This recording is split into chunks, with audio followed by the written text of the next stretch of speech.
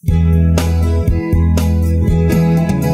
sini KDS 8 Selalu setia di hari-hari Anda. Halo selamat sore penikmat Radio KDS 8 Jumpa lagi bersama saya Tia Fauzia Dan seperti biasa kalau hari Sabtu jam 15 sampai jam 16 sore Saya ditemani oleh uh, SMK Kesehatan Adi Husada ya penikmat Radio KDS 8 Langsung saja tidak usah membuang waktu kita menyapa terlebih dahulu Ini kita kedatangan dari Koordinator BKK SMK Kesehatan Adi Husada ada Mbak Devi Putri Aditya. Selamat sore Mbak Devi. Selamat sore Mbak. Oke, gimana kabarnya untuk hari ini? Alhamdulillah baik ya. Baik ya, sehat ya. Alhamdulillah. Oke, kalau seperti itu. Oke, penikmat Radio KDS 8 nanti kita ngobrol sampai jam 4 sore mengenai apa sih sebenarnya uh, eh, BKK yang ada di SMK Kesehatan Adi Husada tapi sebelumnya saya ingin menyampaikan terlebih dahulu untuk Anda yang ingin berinteraktif, ini bisa di WA-nya Radio KDS 8 di 089669058-nya 3 kali 9. Oke Mbak Devi langsung saja ini ya, uh, Mbak Devi merupakan koordinator BKK SMK Kesehatan Adi Husada Mbak. Tapi sebelum kita jauh melangkah pembicaraan kita ini bisa diinformasikan gak sih ke penikmat Radio KDS 8 bahwa SMK Kesehatan Adi Husada ini ada bagian yang namanya BKK. Iya. Sebenarnya BKK ini adalah setahu saya adalah bursa kerja ya. Iya Bagaimana informasi uh, lowongan pekerjaan dari perusahaan itu memang masuk dari BKK dulu, hmm. merekrut ya dari situ ya, anak-anaknya disaring dari situ. Jadi sebuah informasi untuk siswa-siswi di SMK Kesehatan Adi Usada. Boleh Mbak silakan dijelaskan untuk penikmat Radio KDS 8 akan agar lebih mengenal ya apa sih BKK di SMK Kesehatan Adi Usada? Monggo. Oke, jadi ini kenalan dulu ya sama iya. BKK. Kalau sama BKK SMK Kesehatan Adi Usada itu ini adalah bursa kerja khusus. Jadinya nanti itu dari dunia industri uh -uh. itu yang ingin mencari apa namanya uh, alumni alumni kami itu kami bantu untuk menyalurkan mereka ke dunia kerja okay. seperti itu. Nah untuk apa namanya jadi walaupun mereka sudah lulus nih sekolah nggak lepas tangan mbak mm. nah kita masih bantu mereka juga untuk mendapatkan pekerjaan entah itu yang sesuai dengan bidang kesehatan ataupun yang tidak sesuai bidang kesehatan juga bisa oke okay, berarti memang apa uh, satu apa satu ini ya satu jalur ya dari BKK semuanya. Walaupun ketika sudah lulus bukannya berarti dilepas seperti itu aja gitu ya. Tapi memang uh, ada sebuah apa ya namanya informasi ya seputar tadi. Mbak Devi juga menjelaskan uh, berbagai dunia industri pasti masuknya ke BKK dulu ya Mbak Devi ya. Oke, seperti itu penikmat Radio KDS 8. Jadi jangan khawatir kalau misalnya anak lulus dari SMK Kesehatan di Dusada itu tidak ada informasi lowongan pekerjaan aman terkendali ya Mbak ya. Oke Mbak, berarti enak ya kalau di SMK Kesehatan di Dusada kan dibantu nih untuk mencari pekerjaan. Nah, boleh tahu gak sih Mbak prosedurnya seperti apa? Pasti kan pasti kan nggak langsung oke okay, melamar ini ini ini pasti kan diprioritaskan dari alumni. Uh, alumni. Jadi biasanya tuh dari dunia kerja nih, mm -hmm. misalkan mereka sedang mau mengadakan perekrutan, mm -hmm. bisa kadang tuh dari rumah sakit okay. yang sering. Nah itu uh, prosedurnya nanti kita sudah seleksi nih alumni-alumni mm -hmm. atau mungkin sudah kita informasikan di grup alumni. Kemudian mm -hmm. ada juga yang mungkin siswa yang sudah kelas 12, mm -hmm. mereka juga diperkenankan untuk mengikuti kegiatan rekrutmennya. Okay. Nanti jadi biasanya itu kebanyakan dari uh, siswa atau bahkan alumni kami itu mereka sudah bekerja nih bahkan sebelum lulus sekolahnya. Oke, okay, berarti kalau misalnya kebanyakan juga uh, apa kalau terlihat tadi Mbak Devi juga menjelaskan bahwa sebelum lulus aja sudah biasanya sudah direkrut sama industri gitu ya Mbak iya, Devi ya. Betul. Oke Mbak, untuk siswa-siswi sendiri di SMK Kesehatan Adi Usada tuh biasanya mendapatkan informasi uh, bursa kerja ini dari mana sih bisa diakses? Uh, kalau diaksesnya itu yang pertama yang jelas dari Instagramnya, okay. Instagramnya itu ada di @bkk underscore smkkah, mm -hmm. terus ada lagi juga dari grup WhatsApp alumni seperti itu. Okay. Nah, yang keren lagi nih Mbak ya, mm -hmm.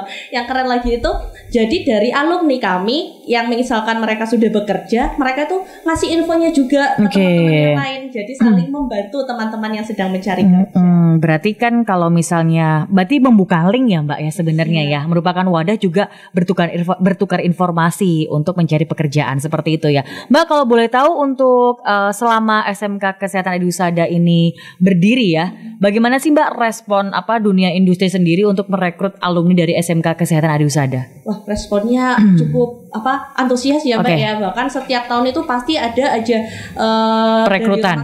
perekrutan itu selalu ada setiap tahun rutin. Oke. Ke- biasanya itu di akhir-akhir semester ya. Mm-mm. Kayak di bulan Mei, sekitar bulan April Mei itu udah sering sekali ada perekrutan. Oke, itu loh penikmat Radio KDS 8 jadi jangan khawatir. Terus apa semuanya diwadahi dan diberikan informasinya tidak setengah-setengah gitu kan ya, total ya Mbak ya. Sampai prosesnya sampai bekerjanya gitu kan ya. Sampai mereka Oke. Mbak, sedikit dong bocoran biasanya tuh kalau misalnya dari perusahaan sendiri ya, banyak kan tuh membutuhkan jurusan apa sih? Maksudnya kebanyakan nih sekarang. Kalau sekarang ini tuh yang sering saya bagikan Iya, ya iya. ke alumni itu untuk asisten farmasi nih yang paling banyak. ha-ha. asisten farmasi juga di asisten keperawatan. Mm-mm. Nggak menutup kemungkinan jadi asistennya dokter gigi sekarang juga Banyak ya. banyak banget Mm-mm. karena sekarang kan sudah banyak dibuka klinik-klinik dokter gigi juga Mm-mm, nih. mm-mm, Nah, biasanya mereka butuh alumni-alumni kami untuk bekerja di sana. Oke, jadi jangan apa ya melihat kalau kesehatan hanya perawat aja biasanya gitu kan ya. Ternyata dental asisten ya itu ya. Dental asisten. Itu juga banyak sekali loh apa eh, peluang pekerjaannya. Oke, penikmat Radio KDS 8 tadi sedikit sudah dibocorkan. Memang eh, tidak apa ya, tidak seperti SMK lainnya. Biasanya kan ada yang udah lulus lulus aja gitu loh, cari aja kerja sendiri gitu ya. Tapi di sini di SMK Kesehatan Edusada itu ada BKK memang yang mengawasi serta menyalurkan beberapa informasi lowongan pekerjaan ya Mbak. Eh, siapa Mbak Devi? Oke Mbak Devi, boleh nggak sih dibocorkan juga nih kalau di SMK Kesehatan Adi Usada sendiri jurusannya apa aja sih Mbak? Kalau jurusan kita buka ada tiga jurusan. Mm-mm. Jadi yang pertama itu ada farmasi komuni farmasi. Nah, yang Mm-mm. kedua ada asisten keperawatan. Mm-mm. Nah, yang ketiga adalah asisten dokter gigi. Asisten dokter gigi. Oke, nah Mbak, mungkin nih orang tua penikmat Radio KDS 8 yang ingin apa mungkin sedang memilih apa untuk anak-anaknya yang kelas 3 SMP ingin melanjutkan ke SMK gitu kan ya. Mau tahu mau tahu nih kalau misalnya dental asisten tuh apa sih Mbak job desk-nya gitu kan.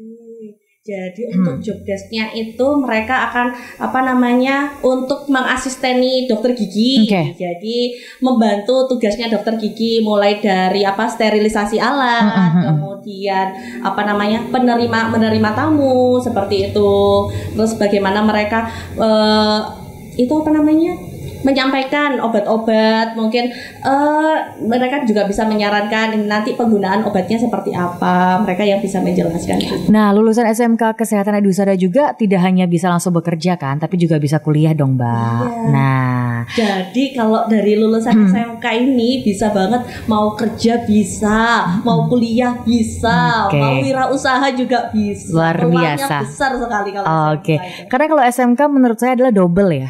Dia double skill sama double apa? Bebas pilihan, mau kuliah bisa, mau kerja bisa, mau kerja sambil kuliah juga bisa ya Mbak ya. Wirausaha juga bisa. Oh berarti bukan dua, doublenya tiga ya. Oh, jadinya ya, Pak ya. Oke lah penikmat Radio KDS 8 Mbak Devi. Nanti kita lanjut lagi ya. Ada pertanyaan yang sudah masuk. Silahkan untuk Anda juga yang ingin lebih tahu eh, apa kegiatan SMK Kesehatan Edusada juga bisa diakses di Instagramnya ya. Betul. Di SMK Kesehatan Edusada. Dan yang ingin bertanya boleh silakan di 08966905 nya 3 kali 9. Jangan ke mana-mana tetap bersama kami.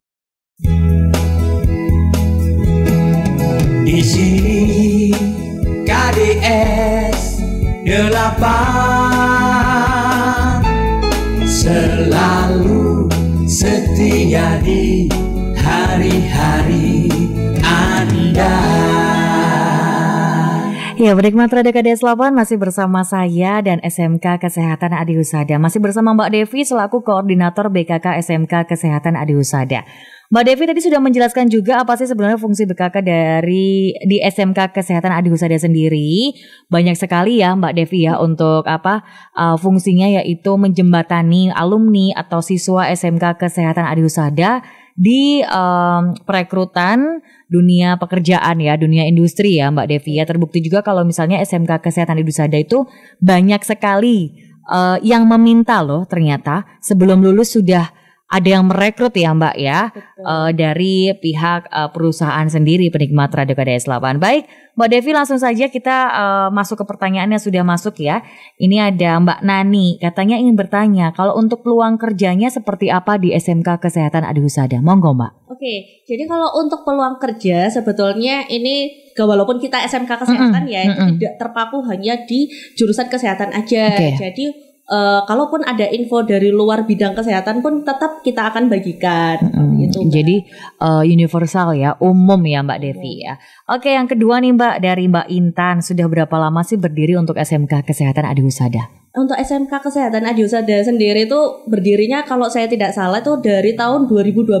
2012. Ya, jadi okay. udah 10 hampir 11 tahunan ini. Hmm, luar biasa. Oke, okay, baik dan sudah terbukti juga untuk beberapa alumni ada yang Mbak yang ini ya yang sampai ke luar negeri ya. Iya. Nah, itu bisa diceritakan nggak? Uh, Oke, okay.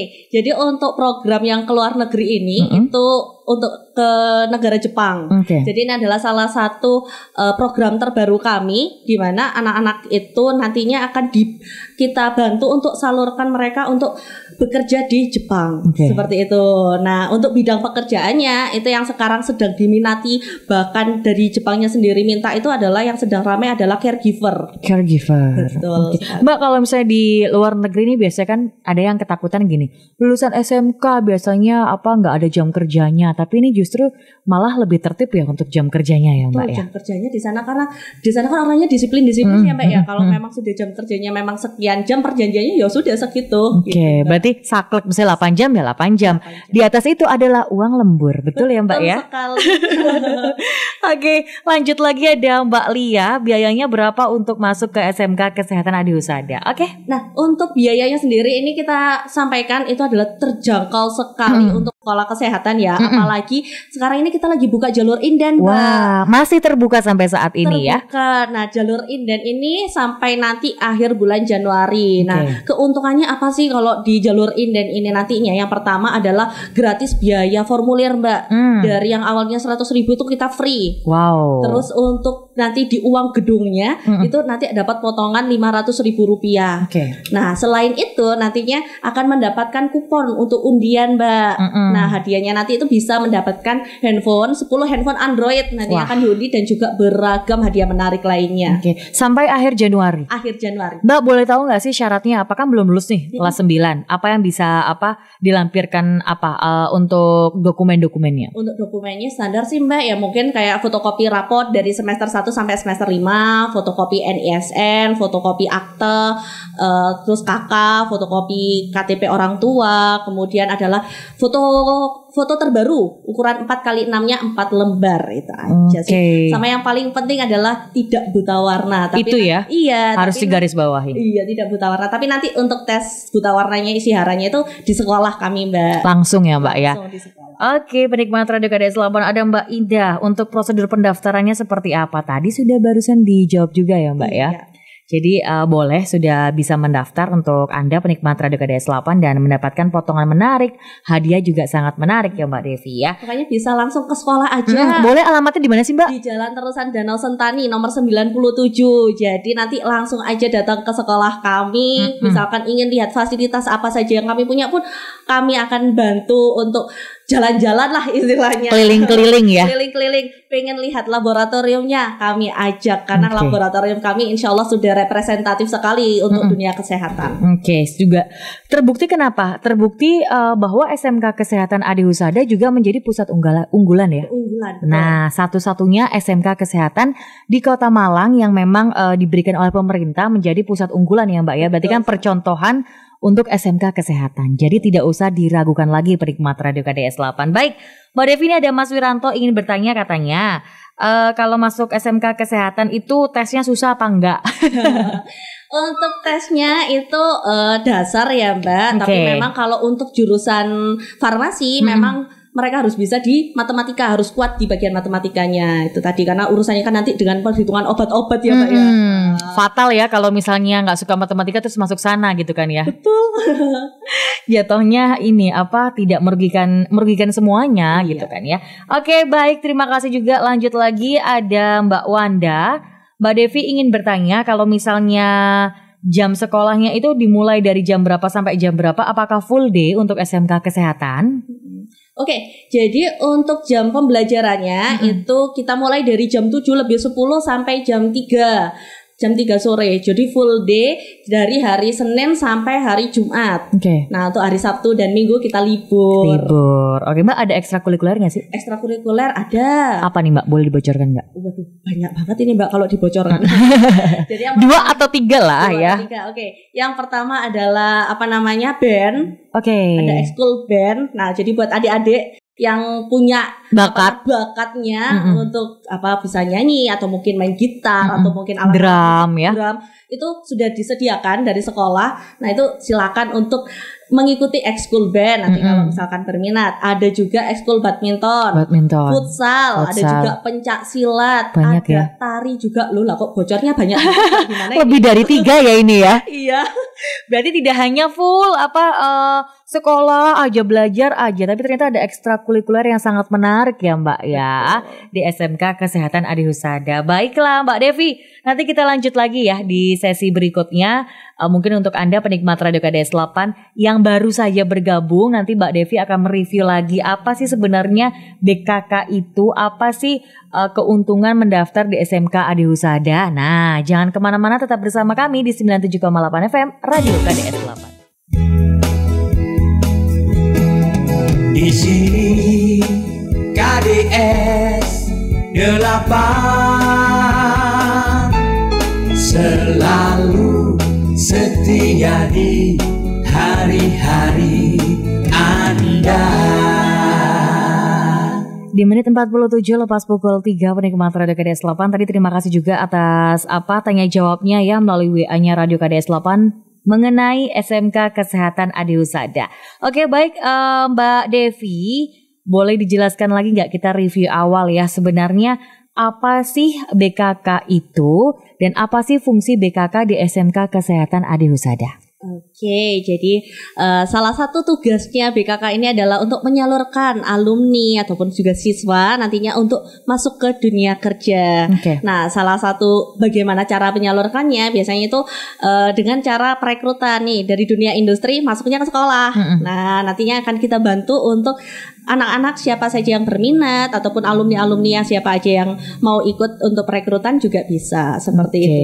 Selain untuk perekrutan, kita juga memberikan informasi nih kepada alumni tentang eh, lowongan kerja, info lowongan kerja baik untuk di dunia kesehatannya ataupun di luar dunia kesehatan seperti itu. Oke, berarti enak ya penikmat Radio KDS 8 kalau di SMK Kesehatan Edi Wisada setelah lulus aja masih dibantu cari pekerjaan ya. Iya.